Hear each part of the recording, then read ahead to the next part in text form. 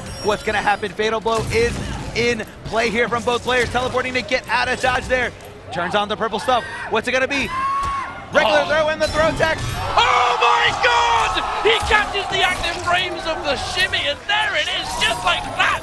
He needed exactly that much time to fatal blow. That was the only thing he could do. I don't know why Big D pressed the button. I don't know why he let go of block there in that situation, but as you guys just saw at